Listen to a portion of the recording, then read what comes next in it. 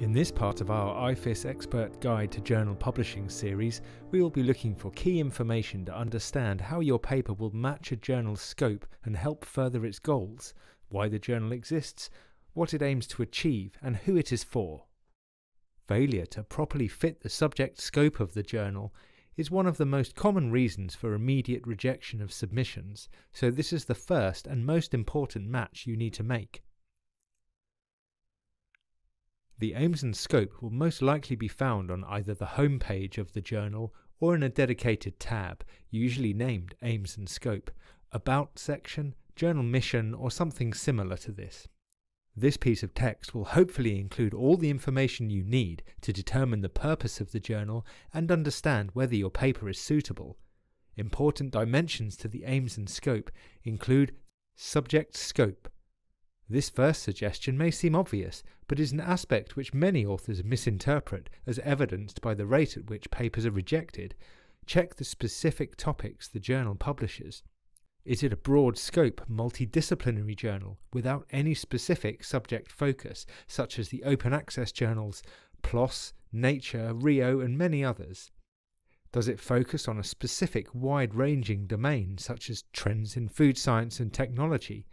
Or does it have a very narrow focus for a specific field, such as food-borne pathogens and disease, or meat science? In addition, does the journal state that it accepts only the most groundbreaking papers which make substantial theoretical advances? This information may not be signalled as clearly as this, but look for clues in language with words such as advances in understanding or similar. The geographic scope is a potentially confusing element and one which benefits from close attention. An international journal may be interested in papers from anywhere in the world, but in what regard? The journal may be happy to receive any and all papers from around the world, focused on any topic and any population. The journal may be interested in papers focused on something relevant to populations local to the author, or the relevance may have a more broadly international relevance or application. International journals may also be interested in research with an international relevance, such as authorship, involve an international range of participants, and data collected on a global scale. Journals with a regional title may simply be based in that area, such as the Polish Journal of Food and Nutrition Science, publishing work from anywhere. Or they might publish work which focuses on that specific country or geographic area, such as Locale, the Pacific Journal of Regional Food Studies. The aims and scope may also state the intended readership and community of the journal. Is the journal intended for primary researchers? The core readership of a journal may not be the same as the authors submitting to it. See if you can find this information in the aims and scope. Some journals may feature research that is directly useful for applied practical settings such as industry or manufacturing or farming processes. Is it a society journal? In which case, does it have only a limited readership of members, or is it more widely accessible and influential?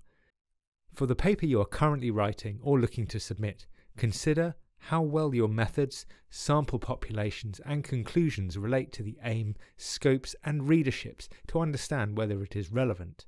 Finally, understanding how your paper contributes to the journal's aims and scope can be very useful information to include in a cover letter alongside your article.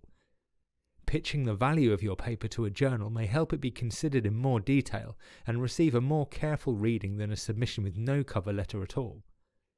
Making note of all these features of each of your journals of interest and carefully matching your paper will give you a better chance of choosing the most appropriate journal first time. Be sure to watch the rest of the videos in this series for more information on understanding instructions for authors, peer review, journal metrics, research and publishing ethics, and predatory journals.